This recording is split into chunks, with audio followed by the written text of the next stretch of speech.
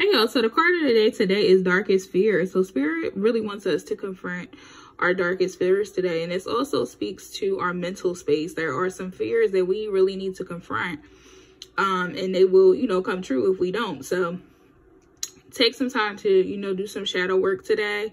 Um, do some journaling, really write down what your fears are, examine them. Is it based in reality? Is it based in, um, what's the word I'm looking for? Is it just like um based in fantasy? So that way you can kind of figure out how you can attack those fears um and move forward so that you can you know walk in your light and you know get your abundance and prosperity together. Um with that being said if you would like a more detailed reading you can definitely reach out to me at ashylisa.com that's where we at with it. Um we got gift cards. We ought to have a sale next week. And um you know new things going on for 2021 so stay on the lookout Bye.